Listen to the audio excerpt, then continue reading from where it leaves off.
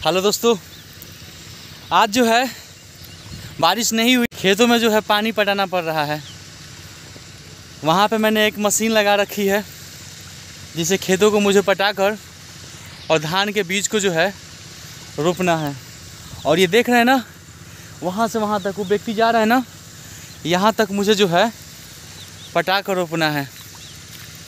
और बगल में एक हमारी गाँव की दादी लगती हैं। वही जो है खेत पटा कर और उसे रोपवा रही हैं। फ़िलहाल मैं तो अपना खेत को जो है पटवा रहा हूँ और पूरा पानी पानी कर देंगे अपने खेतों में, है ना? और ट्रैक्टर वाले भैया को बोल चुके हैं कि बार समय पे आ जाइएगा ताकि मेरा खेत जो है सही समय पर जोता जाए और धान का रोपनी हो पाए।